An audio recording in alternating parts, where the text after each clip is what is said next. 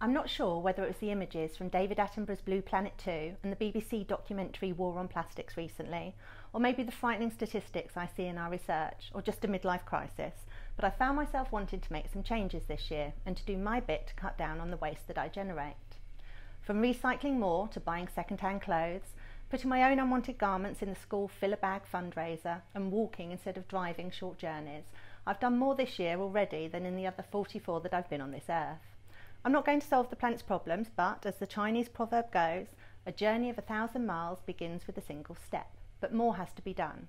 Here are some of those frightening statistics. Demand and therefore production of plastic has grown 2,000% in the past 50 years, but surprisingly little has been recycled. Of the some 9 billion tonnes of plastic produced since it was invented, it's estimated around 7 billion tonnes are still in existence. 15% is recycled, 40% goes to landfill, 32% leaks into our environment and the remainder is incinerated. It's also estimated that at least 8 million tonnes of plastic enter our oceans each year. That's the equivalent of a large rubbish truck full of plastic being dumped into the sea every minute of every day. By 2050, plastics could outnumber fish. If we're forced to do something, change can be quick. Take the 5p plastic bag levy introduced in the UK in 2015, for example. It's already reduced single-use plastic bags by 90%, down from 140 to 10 bags per person on average each year. Given that 1 million plastic bottles are bought every minute globally, it's perhaps no surprise that single-use bottles and cups are now high on the agenda of those wanting to limit their production. In an effort to do more, a friend and I attempted Plastic Free July this year. We discovered it was hard to be good. Plastic is simply everywhere, especially when it comes to the weekly shop. Our texts are littered, pardon the pun, with successes and failures including trips to our local farmers market,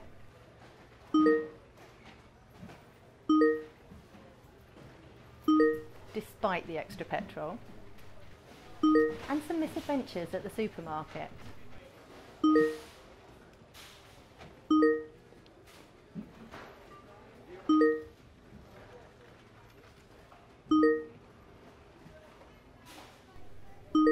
But we did manage to cut down on our bathroom plastic.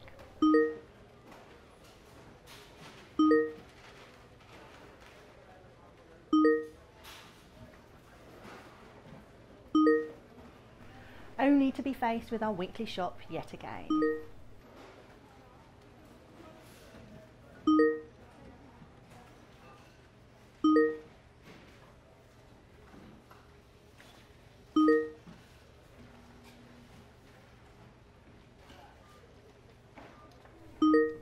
Or the heat wave at the end of the month.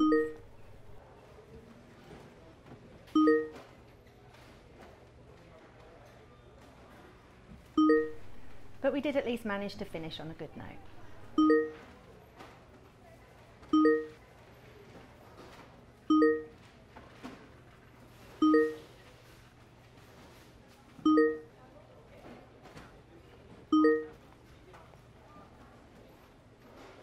But Plastic Free July is evidence at least that individuals want to do more to kick our addiction to plastic. Another good sign is that a recent UK government consultation paper on reducing plastic waste using the tax system received more than 162,000 responses, the highest number in the Treasury's history. So what are governments and companies doing about the problem? Well, the UK government has imposed a charge on plastic bags. Other countries have done the same. And at the end of April 2018, more than 40 major businesses made a pact to eliminate problematic or unnecessary single-use plastic packaging by 2025. These companies, which between them are responsible for 80% of plastic packaging sold through UK supermarkets, include household names such as Unilever, Nestle, Procter & Gamble and Coca-Cola. Grocers Aldi, Asda, Lidl, Tesco, Sainsbury's, Morrison's and Waitrose also agreed to it. Germany has the highest recycling rate of municipal solid waste at 80%, already well ahead of the EU target of 50% by 2020. And India, for example, has gone a step further and pledged to ban single-use plastics by 2022. But why are some industries being targeted more than others? EdenTree has a great chart showing exactly why. As you can see, the global building and construction industry produced 72 million tonnes of plastic in 2015, but the average time that plastic is used is 35 years.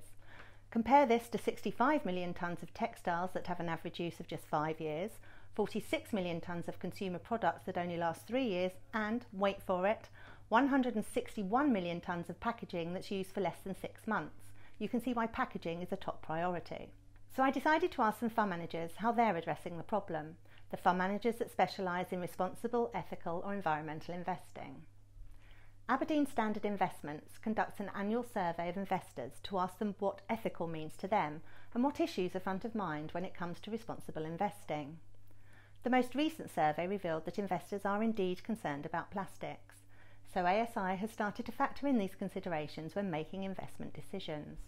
However, the problem is, says ASI, that traditional plastic is unfortunately more efficient than many of its bioplastic counterparts. It's light, low cost, and great at protecting food and products. Biodegradable and compostable plastics are more sustainable, but they're also more expensive.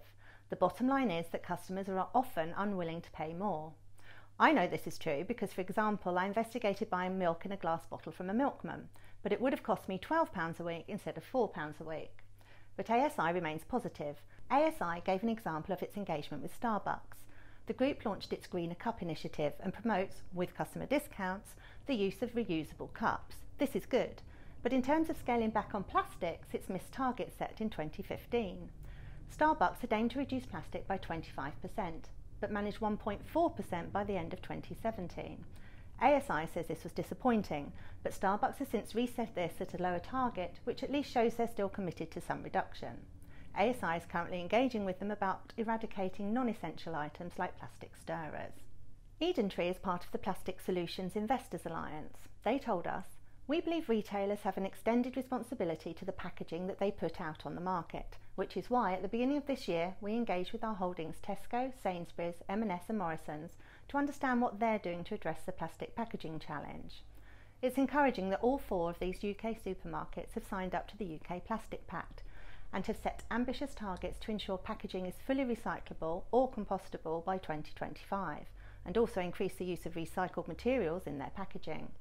We believe, however, that more progress is needed to meet the targets which will require collaboration within the sector, as well as working in partnership with other stakeholders, including the waste management sector and customers. Stewart Investors recently decided to take a more strategic approach to engagement with companies and identified three priorities across all portfolios, one of which was pollution and a focus on plastics and packaging. At the end of 2018, the fund manager launched two new collaborative initiatives one of which is focused on tackling plastic pellet loss throughout supply chains. Plastic pellets, flakes and powders, referred to collectively as pellets, are the raw materials and building blocks of the plastic industry. They're also the second largest direct source of marine microplastic pollution, with over 200,000 tonnes entering the ocean each year. We chose this topic for two reasons. First, it is a problem with a simple, albeit not easy, solution, namely eradicate spillages. Second, our belief is that large, daunting challenges such as climate change, plastic waste, and poverty alleviation are best addressed by tackling small, discrete, manageable parts of the broader problem. As such, this specific initiative complements the broader work going on more generally on plastic pollution. At Rathbones Greenbank Investments, it's not simply a case of screening out companies with any kind of exposure to plastic, but rather looking for companies where they can identify and challenge unnecessary or excessive packaging. Single-use plastics like straws, disposable coffee cups and plastic cutlery are all common and sources of waste. Looking to encourage companies to eliminate the unnecessary use of plastic is an important part of reducing single-use plastics. Deliveroo, for example, now asks you to select if you need cutlery included in your delivery, saying, help us reduce plastic waste, only request cutlery when you need it. And Kames gave us an example of a company that is actually very responsible in many ways, but has been slow to move on packaging, Hotel Chocolat. Its cocoa plantations are ethical, help with crop rotation and treat employees well. But it's only just started to reduce plastic packaging. Sue Round, who heads up the elite-rated EdenTree Amity UK fund, believes the importance of plastic pollution is often underestimated from a general investment perspective, especially as it affects the world's stocks of natural assets, so therefore bears a significant cost to the economy. For instance, she pointed out that plastic pollution is estimated to cost the world at least $13 billion per year, a bill which is picked up by the industries benefiting from the ocean's ecosystem, such as tourism or fisheries. It also makes sense from a business perspective to find innovative solutions and reduce resource costs. This means more mainstream funds are also investing in companies that are doing just that. In a recent podcast, Mark Sherlock, manager of elite rated Hermes US SMID Equity, told us about how a company he owns is starting to tackle the problem of plastics. Um, an interesting stat I was reading the other day is that uh, for, for you know, water bottles, um, disposable water bottles, 7 billion water bottles are opened every day. Only 1 billion of them are recycled. Um, if you think on a typical Coke can, the, the, the, the, closure remains with the can. That is 99% of the time not the case with water bottles. And the most polluting um, uh, piece of litter found on a beach uh, uh, globally is uh, those these these plastic water bottle caps. So it's a, it's a significant issue, and I think we're all aware of plastics in the ocean and, and, and so on. Uh, Aptar, as an example of their innovation, have um, come up with what they call a stay with cap, which is, as the name suggests, the cap stays with the bottle. Um, they're looking into minimum standards of recycled plastic, um, you know, for inclusion in their bottles and so on. As for me, I fully intend to carry on trying to reduce my plastic use. Having signed a Greenpeace petition on the subject, I'm also now making a monthly donation to the cause, which I figure will offset any guilt on bad plastic use days. The good news is that while we're just at the start of our long journey tackling the plastics problem, it presents opportunity and necessity to innovate. As ASI concluded, it's a rare and exciting circumstance to have such momentum to address an environmental problem that also provides clear opportunities for industry. For more information on responsible investing, visit fundcalibre.com.